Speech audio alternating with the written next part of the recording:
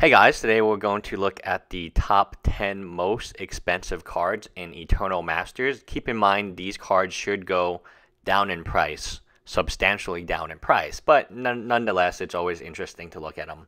Mana Crypt, it's also interesting to make this video now and see where the prices go. Maybe some of them go up.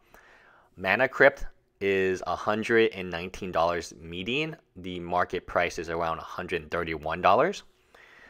Karakas is over $100. It's $105 median, and all these prices are from TCG Player.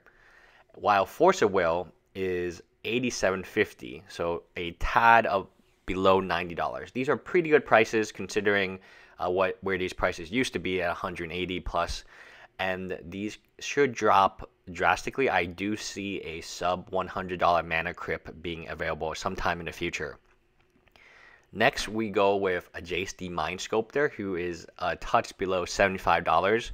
A very epic fall. I mean, Jace, his highest peak, if you will, was when people thought he would be unbanned, and he eclipsed $200 before his first reprint.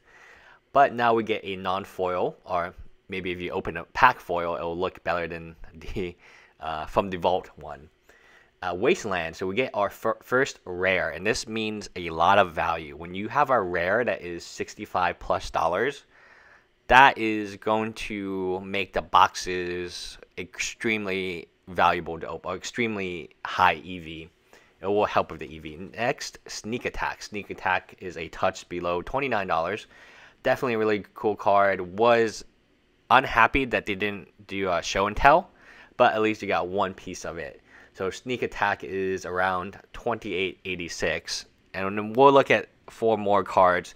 Two of these cards don't have images. Vampiric Tutor adds a new artwork, uh, and I don't know if it's better or worse, but it is around $26, 20 $26, $28.91, depending on how you would be looking at the prices.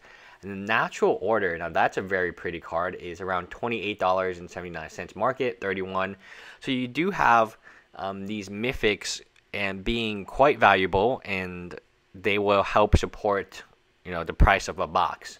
Dak Fadden, Dak Dake Faden, or whatever his name is, uh, it's $22, so uh, Mythic above $20 is never a bad sign. And then we have Sylvan Library, which is another rare, and definitely want to point that out.